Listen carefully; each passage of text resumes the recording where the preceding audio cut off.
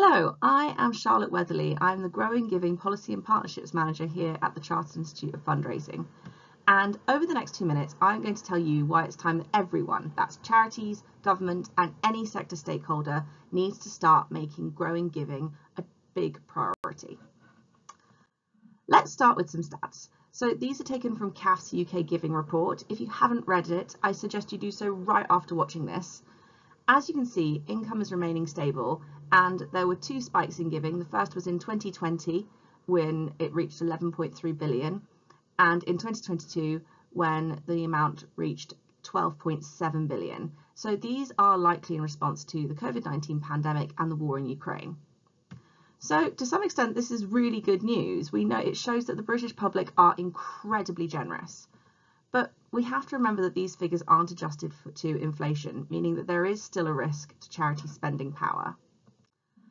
Now, when you look at this next trend, we start to really see the red flags. As you can see, the proportion of people giving to charity is steadily decreasing. It was 65% in 2019, then 62% in 2020, and 57% in 2021. It did then increase last year in 2022 for, to 59%, um, but it still hasn't returned to pre-pandemic levels. And the latest edition of the report does uh, highlight that fewer people made donations in the majority of months in 2022 than their equivalent in 2019. So this really does show that there is very likely a kind of perennial issue that we need to address. And that brings us nicely on to what we want to do at the Chartered Institute.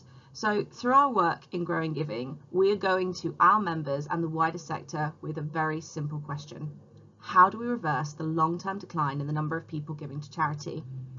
I mean, I say it's simple, but as you will see, there are a lot of complex answers and ideas that we want to explore. So at the very, very beginning of this work right now, but initial consultation with members found that there were four themes that we'll be focusing on. The first is creating a positive social narrative around giving. So do people see giving as an important part of social action that allows them to make a difference? If not, why not? Secondly, making giving more fulfilling how do we make sure that people who are giving to charity aren't just having a positive experience, but that they feel that they are making a real long-term difference to society and that making a donation to charity is something truly unique.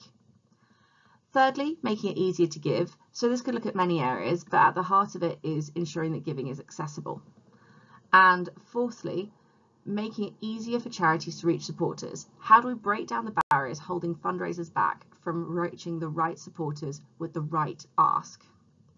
So, I mean, we're at the very beginning of a very so with that in mind, please do get involved and get in touch. We want to make sure that every member has a voice on this so that together we can really reshape the giving landscape and make sure that charities across England, Wales, Scotland and Northern Ireland can thrive. So if you do want your ideas heard, you can email me on charlottew at ciof.org.uk if you want to have a one-on-one -on -one call or if you want to hear from some of your peers, you can take part in a research roundtable. You can find the next dates for that in the next newsletter. And finally, you can respond to the survey on our Growing Giving Hub. So really, really simple. Go to the first page of our website. Right there, it says our work on growing giving. Click that, and at the top of the page, you can respond to the survey.